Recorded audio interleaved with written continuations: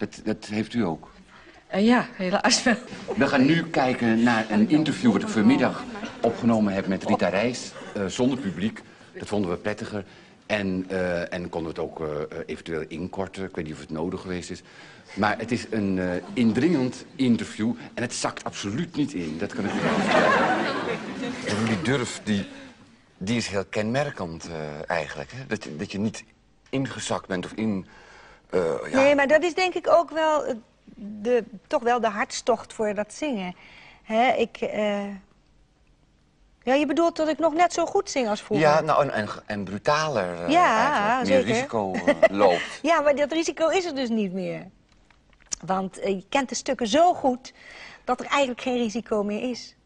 Nee, je kan ook natuurlijk uiterst bescheiden worden of onzeker. Of denken, ja. nou, ik heb het gehad en dit... Ja, nee, dat heb ik helemaal niet. Gelukkig niet. Nee. Nee hoor. nee, dat, uh, dat is nog niet aanwezig. En ik, uh, ik hoop ook niet dat dat komt. Maar waar komt die vechtlust vandaan? En het is geen vechtlust. Het is pure hartstocht die ik in me heb als ik zing. Een vechtlust is het niet. Misschien, in een heel, oh, misschien een heel klein beetje, omdat je natuurlijk altijd beter wil zijn dan de anderen. Kijk, ik word ouder en er zijn natuurlijk verschillende jongere zangeressen gekomen. En daar wil ik toch nog, hoe dan ook, bovenuit blijven steken.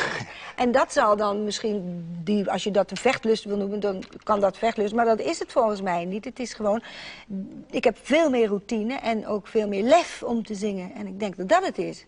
Ja. Cheers, dear. Cheers. Mm, lekker. Ja, maar dat betoverende.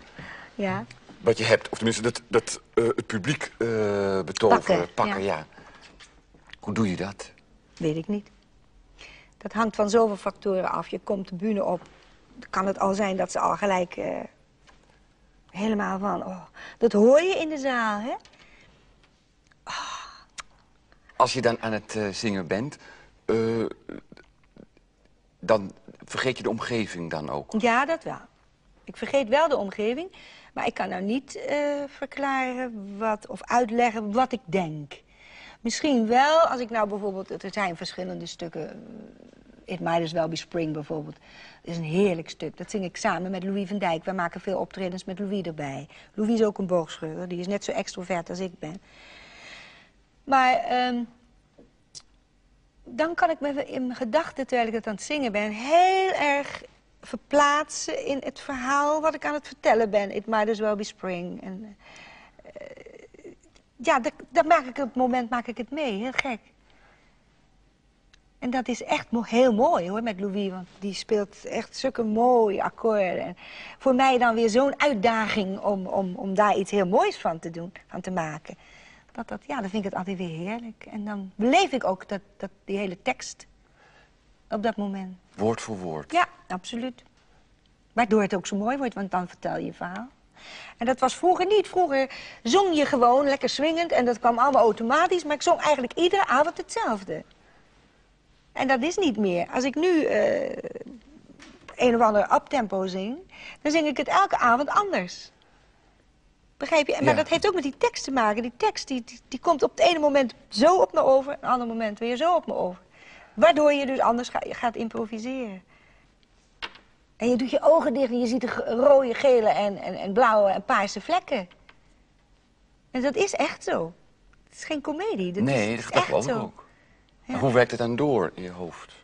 Bedoel je als je klaar bent? Nee, als je tijdens het... Tijdens Nee, daar werkt niks door. Je, je, je weet je tekst, die zit in je, ergens in een computertje boven in je hoofd. En die tekst die komt. En je weet wat die tekst betekent. En die vertel je, die zing je. En, en die bruine en die rode en die gele vlekken, die blijven. En af en toe denk ik wel op het moment, god, nou moet ik eens even mijn ogen open doen. Dat denk ik niet zo letterlijk, maar dan denk ik wel even, oei, mijn ogen. Want de mensen denken dat ik straks in slaap val. En dan doe ik gauw mijn ogen open en ik kijk helemaal heerlijk zo in dat mooie licht. Nou, en dan, eh, en, maar dan vergeet ik het weer. Dan denk ik, ja, dag hoor, ik doe mijn ogen weer dicht, want dan kan ik me veel beter concentreren. Begrijp je? Ja. Gewoon, denk open, hè? Ja. dat vind ik ook heel mooi... Uh facet van het uh, zingen. Ja. In hoeverre je ook het publiek vergeet... en in hoeverre er die wereld uh, ja. zich ontvouwt, zeg maar. Ja, maar kijk, het, je vergeet niet het publiek. Want het is natuurlijk wel zo... Nee, Op het moment dat ik met die ogen zo dicht sta en zo geconcentreerd aan het zingen ben, schijnt dat toch voor het publiek iets geweldigs te hebben, want het is muisstil. Dat is heerlijk hoor. Kan je echt zalig werken. Ik wil je een fragment laten zien van een collegaatje uit Amerika. Ja? Met, ehm even kijken waar ik dit heb. Zal ik even de video omdraaien? Die zingt ook heel intens, vind ik zelf. Nou, spoel ik hem alleen fout, ik. Oh nee, ja. Ja, heerlijk hè.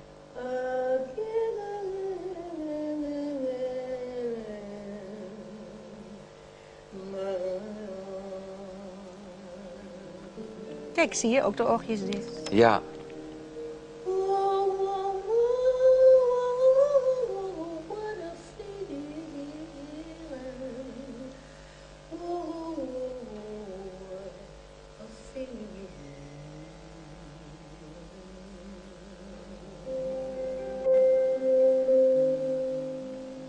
Ze zakt iets, jammer. in de toon. Ja. Nee, maar dat is ook het opmerkelijke. Dat Joe Pass. Ja, Joe Paas, zie je. Ze gaat het overdoen. Ze gaat nu overleggen. Ah ja, maar het was niet zuiver hoor. Moet kijken. Ja, lekker. hè. Thank you.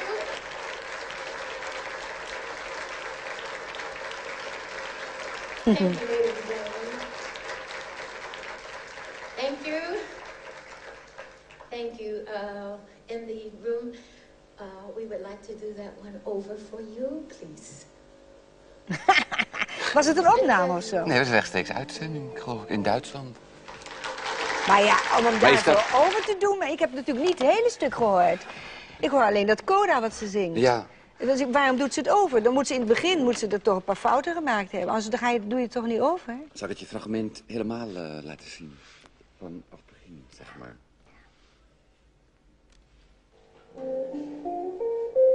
And it's called Feelings.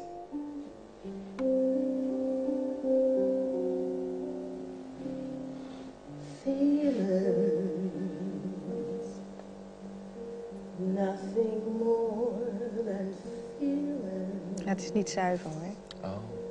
Trying to forget Hoor je?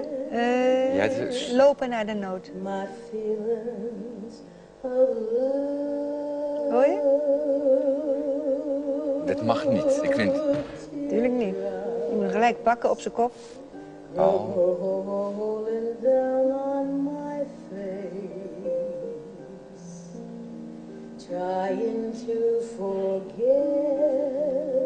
Nou, maar hij speelt ook verkeerd akkoord hoor. Oh, ja. Oh nee, is niet mooi. Oh nee, het is heel ongelijk. Yo, daarom heeft ze het overgedaan. Maar dat doe je toch niet op een bühne, lijkt mij. Vreemd.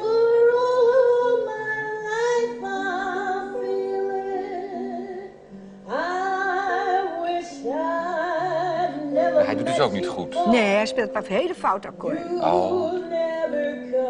Vandaar gaat ze natuurlijk, wordt ze onzeker. Hè? Ja.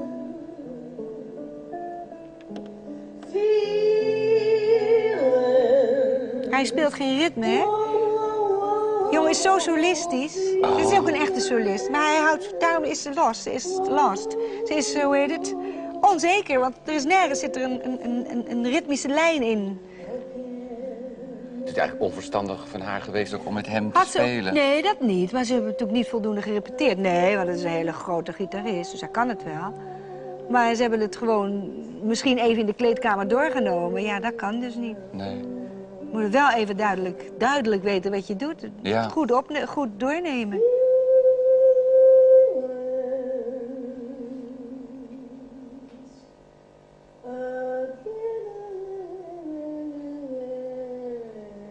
Die gaat ook helemaal, die vergeet ook alles hè, om zich heen. Ja.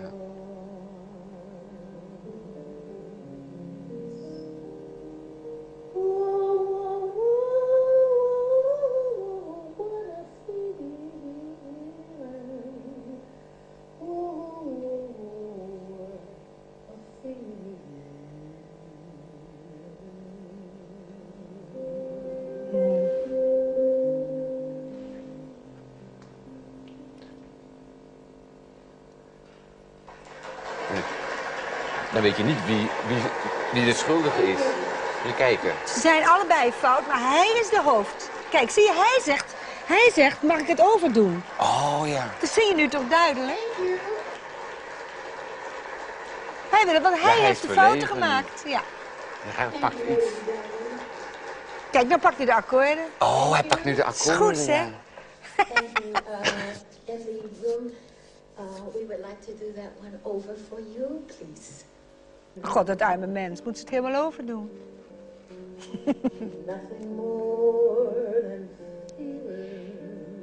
Is er nu beter?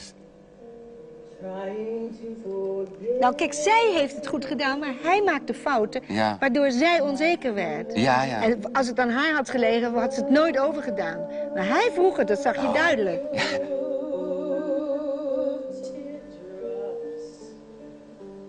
Ik vind geen stuk voor haar ook, hoor. Dit niet.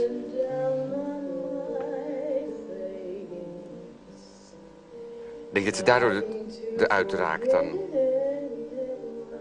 Wat vind je haar beste stuk eigenlijk? Ik vind haar in de uptempo's het beste altijd. Ik vind het geen stuk voor haar, feeling. Het is een beeldig stuk, maar niet voor haar. Zing jij het ook? Nee, Jij zingt het ook niet? Nee. Voor jou ook niet? nee. Ik vind het een mooi stuk in de, in de keuken. Maar niet op de bühne. Nee. Zing het wel eens in de keuken. Ja, heb, je, heb je speciale keukenstukken? Nou, stukken die ik erg mooi vind, maar die niet geschikt voor de bühne zijn, zing ik in de keuken. Ja. Dat adviseer je haar ook nu? Nou, nee, ik, vind, ik ben helemaal gek van die vrouw altijd geweest, hoor. Het is aardig, hè? De aardig mensen, ze zo- zong altijd zo mooi. Niet, maar nu niet meer. Ze is ook, ook, ook oud geworden en ook hartaanval, bijna blind, noem maar op. Ja, nou, daarom zeg ik, ik ben echt een gelukskind. Ja. Eerlijk waar. Want ze is nog even- niet zo oud. Steeds ook de ogen dicht, hè? Ja, tuurlijk.